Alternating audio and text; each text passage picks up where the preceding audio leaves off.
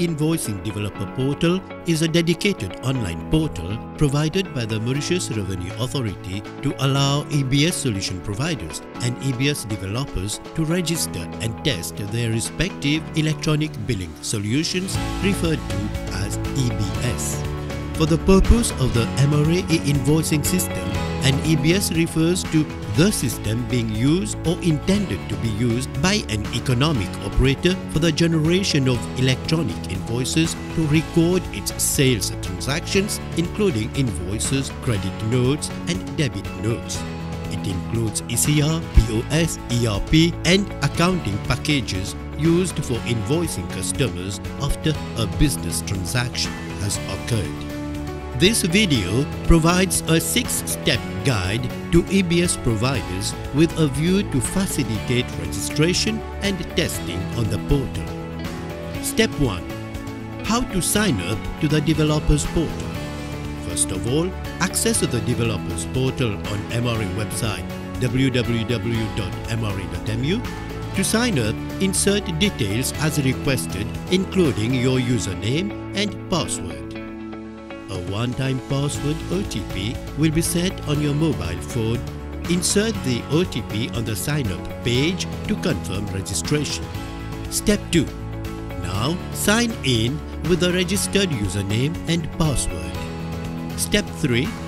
Register the developer on the portal. How? Provide all the details including the TAN and BRN of the organization for which the developer is working Developers will either be working for an EBS solution provider or for the IT department of an organization which uses an EBS during the course of its business. Step 4. Registration by MRA. This step will be entertained by MRA.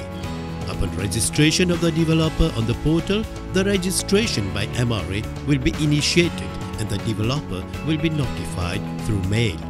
After successful approval of registration by MRA, the developer will be allowed to proceed with the registration of its EBS.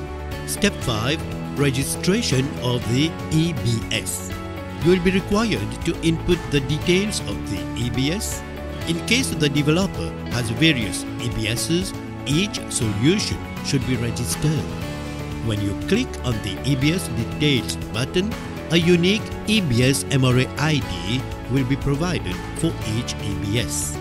You need to save the EBS MRA ID to allow testing of the EBS at a later stage. Step 6.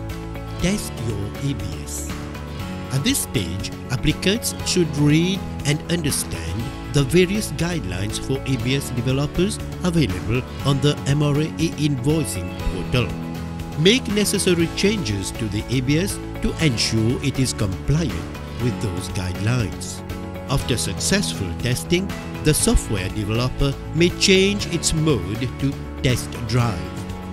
When the EBS has passed the test drive, that is the self-certification test, the developer will have to inform MRA through a self-certification process on the portal that the EBS is compliant with the e-invoicing regulations in Mauritius.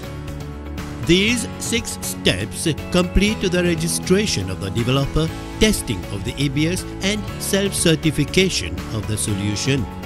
More details are available on the MRA e-invoicing portal and EBS developers are recommended to read the guides thoroughly, especially the technical guides which are made for them in particular. Thank you and good luck.